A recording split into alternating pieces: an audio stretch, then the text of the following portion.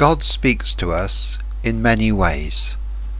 Sometimes we find a place where we sense His presence and even hear His voice. This is such a moment in time. A way to travel back in time. A time of peace and tranquility. A time of space and quietness.